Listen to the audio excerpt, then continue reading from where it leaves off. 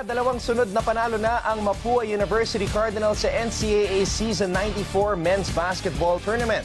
Umangat na sa 4 and 8 ang win-loss record ng Mapua matapos nilang padapain ang College of St. Benilde Blazers 86 to 83. Lamang pa ang Benilde 73 to 72 sa kalagitnaan ng fourth quarter bago nagpakawala ng 8 to nothing run ang Mapua para kunin ang lamang.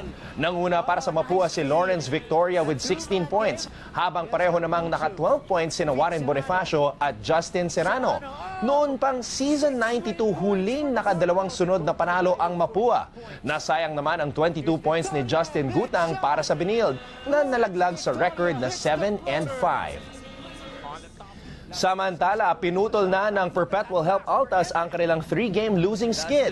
Gumawa ng 20 points at 19 rebounds si Prince Eze habang naka 10 points naman si Ray Peralta para pangunahan ang Perpetual kontra sa Arellano University Chiefs 57 to 45. Umabot pa sa 27 points ang lamang ng Perpetual bago humabol ang Arellano para maidikit ang score. Malaking panalo ito para sa Perpetual na umangat sa 6 and 5 at halos naaamoy na ang number 4 spot sa team standings.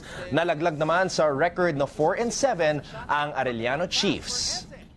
Hey everybody, this is Anton Rojas. Subscribe to the ABS-CBN Sports and Action YouTube channel. All you have to do is click on the I button right here.